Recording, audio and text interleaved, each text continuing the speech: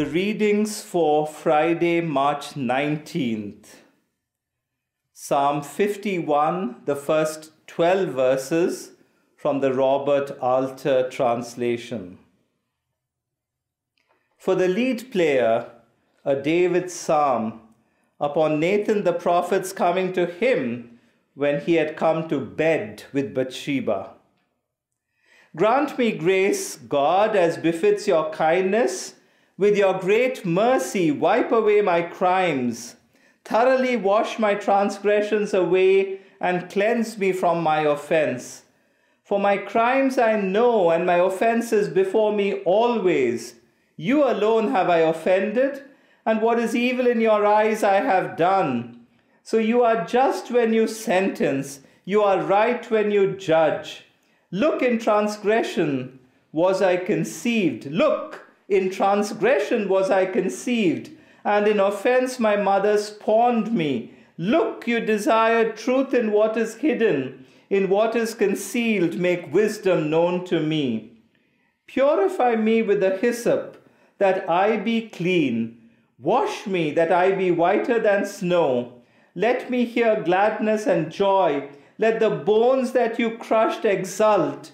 Avert your face from my offenses, and all my misdeeds wipe away. A pure heart create for me, God, and a firm spirit renew within me.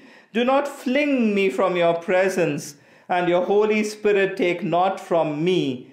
Give me back the gladness of your rescue, and with a noble spirit sustain me. Hebrews chapter 4, verse 14 to chapter 5, verse 4 from the David Bentley Hart translation.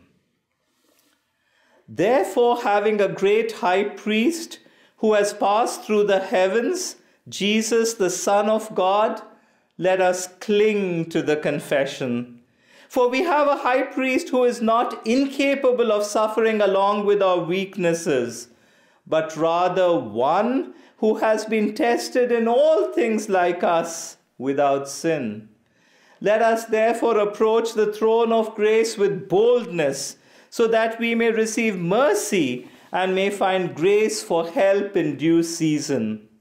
For every high priest who has been taken from among human beings is appointed on behalf of human beings as regards to matters relating to God, so he might offer gifts and sacrifices for sins, being capable of feelings of mildness towards the ignorant and erring, since he is himself also beset by frailty. And because of this, he must make offerings for sin, as for the people, so also for himself. And no one assumes the honor of himself. Rather, it is the one called by God, even as Aaron was. It's easy to set ourselves apart from ordinary people and claim certain privileges for ourselves. Privileges that come from our social status, from our educational backgrounds, from our income, from our families of origin, from our place of upbringing. It's easy to set ourselves apart. It's easy to claim privilege. This is a temptation that we all have experienced and very often succumbed to, putting ourselves over and against, elevating ourselves, and claiming that we are better than thou.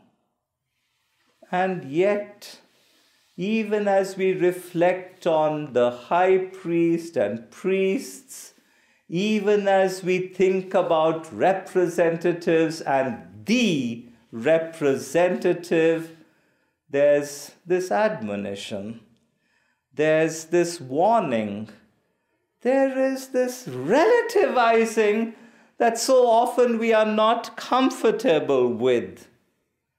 That in God's eyes, we are all sinners. We have all fallen short.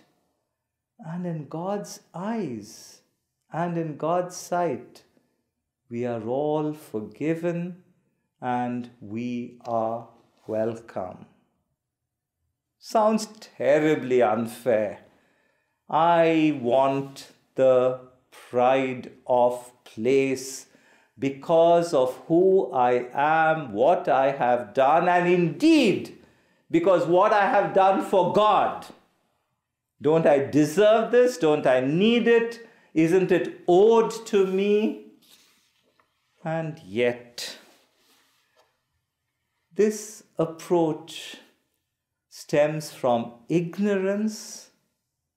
This approach stems very often from a deliberate desire to elevate ourselves, especially when we are surrounded by fools and flatterers who tell us what we want to hear and try to affirm our own elevated status. But we are called to set that aside and approach the throne of grace with humility. Whoever we are, whatever background we come from, whatever our achievements, coming to the throne of grace with all the representatives, all of whom are called to be representatives of God's love in this world, approaching with humility on this journey of faith to hear once again words of admonition, words of forgiveness, words of hope, and words of affirmation. Not because of who we are, but in spite of who we are.